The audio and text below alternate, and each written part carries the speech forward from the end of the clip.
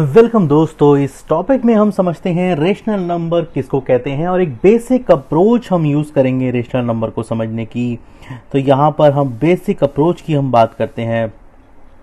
तो दोस्तों इस नंबर में बेसिकली मैं आपको बताने समझाने से पहले इसका एक बेसिक एक एक, एग्जांपल लेके चलेंगे। जैसे कि एक मेरे पास एक नंबर है थ्री और मैं इसको मल्टीप्लाई करता हूँ एक ऐसे नंबर से एक ऐसे नंबर से कि मुझको रिजल्टेंट में टू मिलता है, मुझको यहाँ पे टू मिलता है। तो दोस्तों, ये नंबर कौन सा होगा? हमारा क्वेश्चन है कि ये नंबर दोस्तों कौन सा होगा? यहाँ पर गौर करने वाली बात ये है, अगर मैं इसको देखूँ यहाँ पे इस तरीके से थ्री मल्टीप्लाई बाय अगर मैं टू बाई थ्री करूँ तो थ्री से दोस्तों थ्री कैंसल आउट हो जाएगा और मुझको मिलेगा टू तो इसका मतलब टू बाई थ्री हम यहाँ पर रख सकते हैं। तो यहाँ पर ये ये किस तरह से काम करेगा दोस्तों? यहाँ पर हम टू बाई थ्री रखेंगे, तभी मुझे टू मिलेगा। बट जब मैं टू बाई थ्री की बात करता हूँ दोस्तों, टू बाई थ्री की बात करता हूँ तो ये किस टाइप का नंबर है? Which type of number it is ये कौन सी टाइप का नंबर है? क्या ये होल नंबर है दोस्तों?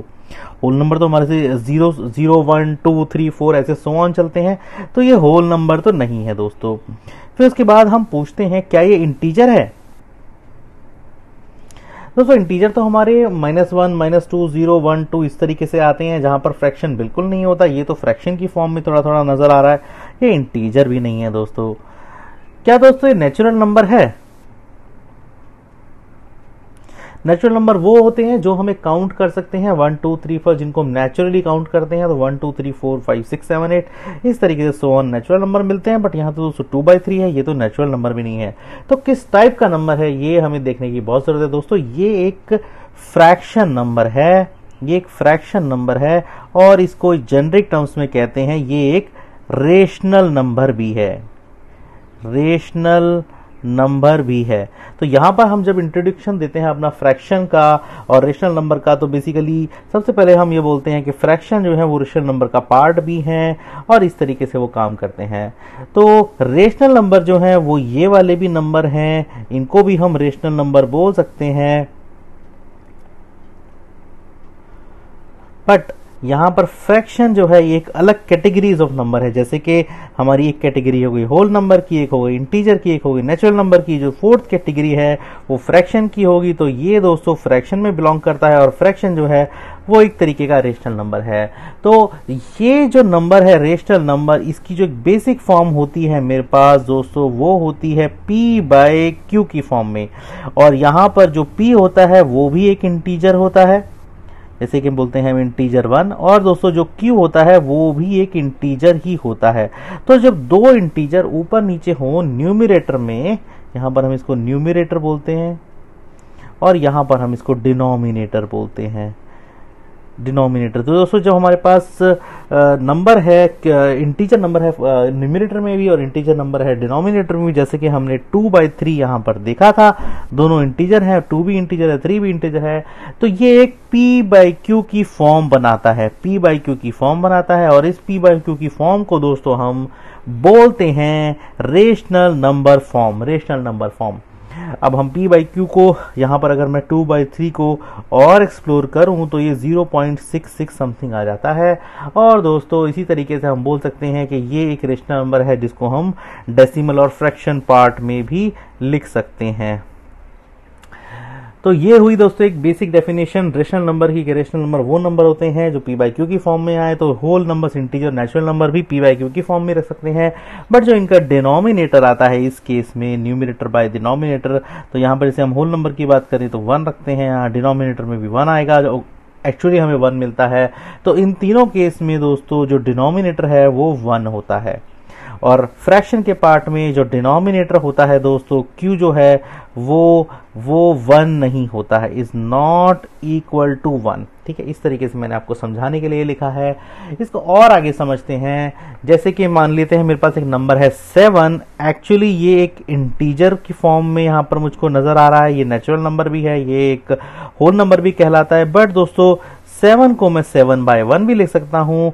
और सेवन बाई वन दोस्तों पी बाई क्यू की फॉर्म ले रहा है तो ये एक रेशनल नंबर भी कहला सकता है। ठीक है? तो इस तरीके से हम ये बोल सकते हैं रेशनल नंबर क्या क्या नंबर होते हैं। बट रेशनल नंबर का अपोजिट एक इरेशनल नंबर पार्ट होता है, वो मैं आपको भी समझाता हूँ किस तरीके से हम उसको समझेंगे। इसके लिए मैं आपको एक जनरिक एक टेबल बनाता हूँ। मान लेते हैं मेरे पास पी ये है और मेरे को पी बाई क्यू की फॉर्म चाहिए। क्यू दोस्तों मेरे पास यहाँ पर आएगा और P बाई क्यू की फॉर्म में यहाँ लिख देता हूँ। इसका रिज़ल्ट जो आएगा वो मैं यहाँ लिखता हूँ दोस्तों। उसके बाद जो ये एक्चुअल नंबर है वो क्या है? एक्चुअल नंबर क्या है? और ये रेशनल नंबर है या नहीं? रेशनल नंबर है या नहीं? इसको हम यस और नो में लिखेंगे यहाँ पे। फिर मैं आपको समझाता हूँ एक बारी। अब मैं इसको इस तरह से डिस्ट्रीब्यूट कर लेता हूँ। मैं सबसे पहले लेता हूँ पी बाई क्यू की फॉर्म में, सबसे पहले मैं नंबर लेता हूँ दोस्तों सेवन सेवन पी है क्यू है मेरा वन ये seven by one P by Q की फॉर्म बनेगी। रिज़ल्ट में आएगा सेवन और actually it is a integer ये एक इंटीजर है, क्या ये रेशनल नंबर है दोस्तों? Yes it is a rational number ये रेशनल नंबर है।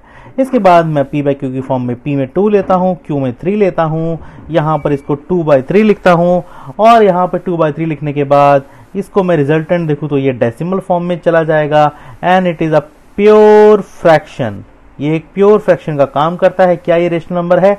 Yes it is a rational number एक और एग्जांपल लेते हैं थ्री बाई टू ले लेते हैं। पी बाई क्यू की फॉर्म आएगी थ्री बाई टू के हिसाब से। और यहाँ पर रिजल्टेंट में हम देखेंगे तो वन पॉइंट फाइव मुझे मिलता है। तो यहाँ पर ये इंटीजर से बना है, जो कि वन है। और फ्रैक्शन भी यहाँ पर मेरे को दिख रहा है, जो कि ज़ीरो पॉइंट फाइव है। क्या ये रेशनल नंबर है? यस दोस्तों, ये रेशनल नंबर है। इसके बाद हम चलते हैं एक और थोड़ा सा डिफरेंट टाइप की चीज़ देखते हैं।